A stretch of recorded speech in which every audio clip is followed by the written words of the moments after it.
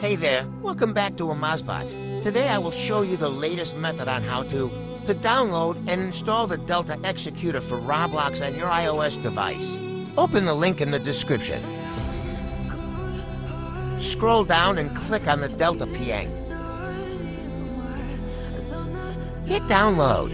For this you will need any signing app, such as Feather or Esign, as well as a paid certificate, normal certificate. Links on how to download will be in the description. I have already downloaded. Let's use Esign. Hit the three dots on top, then click Import and import the file just downloaded.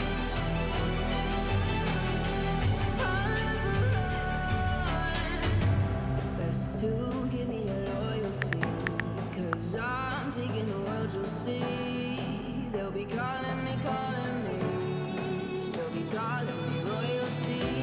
Then sign and install the app.